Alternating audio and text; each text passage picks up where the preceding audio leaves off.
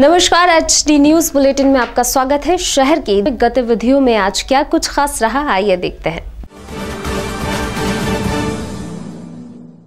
मानव मात्र की सेवा करना ही समाज का कर्तव्य है। इसी बात को ध्यान में रखते हुए अखिल भारतीय कुर्मी क्षत्रिय महासभा द्वारा बाणगंगा नाके के पास कुशवाहा नगर चौराहे पर गुरुकुल पब्लिक स्कूल में निशुल्क नेत्र एवं स्वास्थ्य शिविर का आयोजन किया गया। मंगलवार को आयोजित शिविर में बड़ी संख्या में लोगों ने पंजीयन कराकर स्वास्थ्य का लाभ लिया।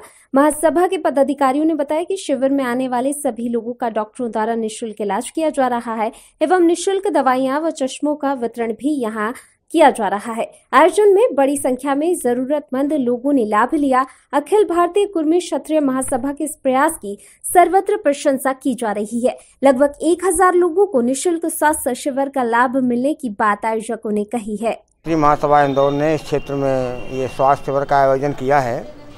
हमने यहाँ पर देखा है कि यहाँ पर पिछड़े वर्ग के लोग रहते हैं, जो मेहनत कश हैं, मजदूर हैं और जैसे कुशवाहा समाज है प्रजापत समाज है ईंट पातने वाले हैं माली समाज है कुर्मी समाज है यहाँ के लोग अधिक रहते हैं जो काम में लगे रहते हैं और अपने स्वास्थ्य पर ध्यान नहीं दे पाते हैं समय पर वो अस्पताल नहीं पहुँच पाते हैं तो उनको यहीं आकर के स्वास्थ्य सुविधा उपलब्ध कराई जाए ऐसा हमारे विचार आया और हमने ये कैंप लगाया जिससे यहाँ के लोग अधिक अधिक इस सुविधा का लाभ ले सकें।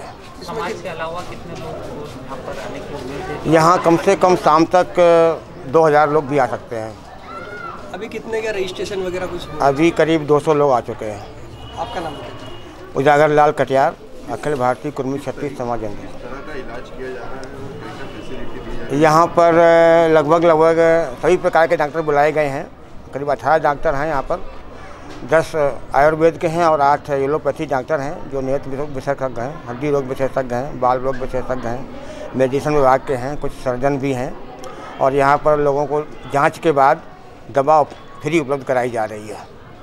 और भविष्य में भी अगर ये लोग डॉक्टरों से संपर्क करेंगे मरीज़, जिनको ठीक नहीं हो पाएँगे तो उनका समुचित इलाज फ्री में किया जाएगा।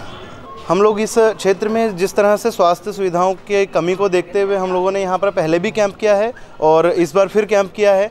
इसमें काफ़ी सारी स्वास्थ्य सुविधाएँ दी हैं। अभी रिसेंटली में हमने पाया कि इस कैंप के द्वारा दो ऐसे बच्चे मिले हैं जिनको हार्ट की समस्या थी और उन्हें हमने रिफ़र किया है। केंद्र सरकार तक हमने ये मतलब सॉरी राज्य सरकार तक हम जो है ये सूचना पहुंचाते हैं यहाँ से। हमारे कैंपों के माध्यम से काफ़ी सारी जगह पर फ़ायदा पहले भी हुआ है। इसके अलावा समाज जो है अग्रणी रहा है इस तरह के कामों में। समाज सेवा के कार्यों से जुड़ा हुआ हमेशा जो समाज है वो कार्य करता रहा है।